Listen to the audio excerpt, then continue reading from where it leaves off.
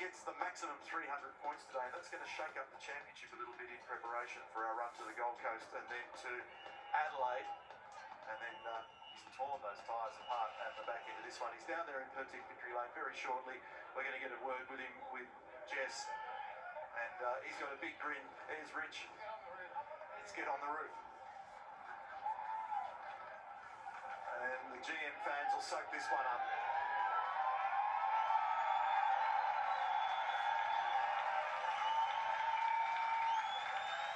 Oh,